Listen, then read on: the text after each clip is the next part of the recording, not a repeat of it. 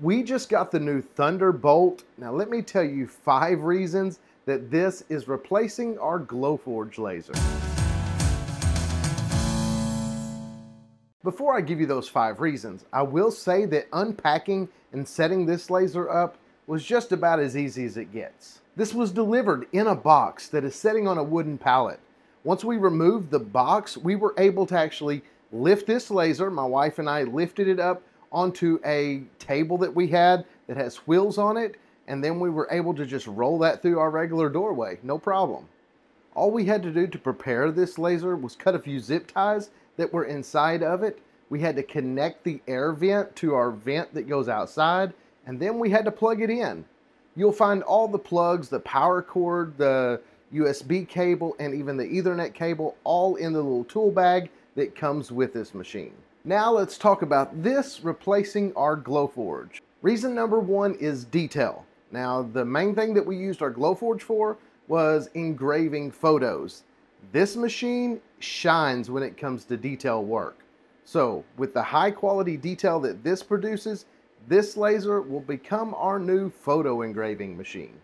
Reason number two is speed. This thing is fast. Now, as you can see here, this actually is not even on full speed, so this is not the fastest it could go. But this is so much faster than the Glowforge engraves photos. And when time is money, laser speed makes a huge difference. Reason number three is the actual laser tube.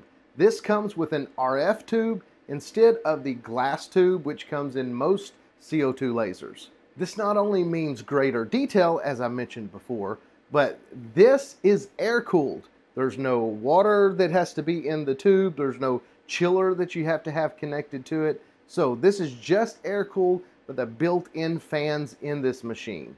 Also, an RF tube is known to outlast pretty much any of the glass tubes.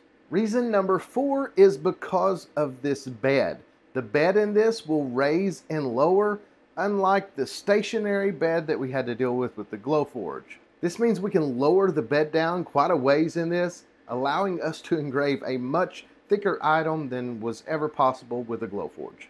Reason number five is the rotary.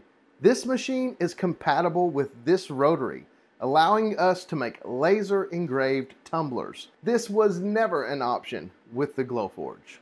While I do want to say thanks to Thunder for sending us this awesome machine, I also want to say all of those reasons and everything I said was just my opinions. Thunder never asked me to say any of that. That's just the reasons why this machine is replacing our Glowforge. Be sure to stay tuned for more videos about this desktop laser from Thunder. I think this is going to be very exciting. Thanks for liking, commenting, and subscribing. And until next time, God bless.